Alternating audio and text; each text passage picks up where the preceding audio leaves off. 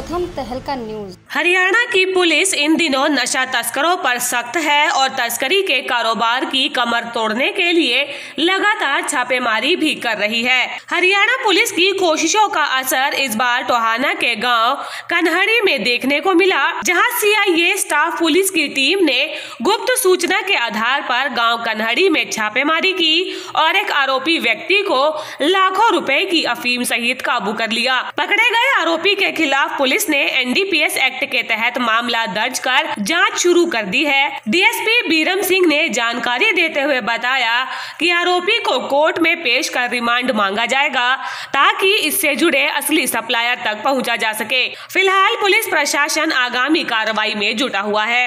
गाँव कंदड़ी में एक जगदीश नाम का आदमी है जो बालाजी किरियाना के नाम से अपनी दुकान चलाता है।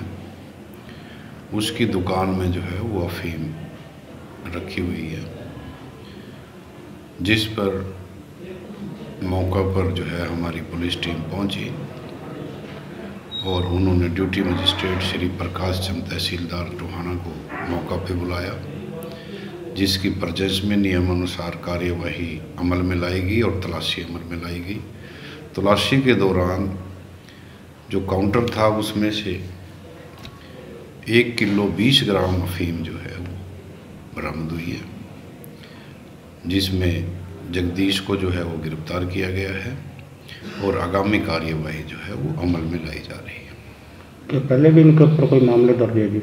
वो अभी रिकॉर्ड जो है थाने का चेक किया जाएगा। तो आगे की क्या कार्रवाई रहेगी?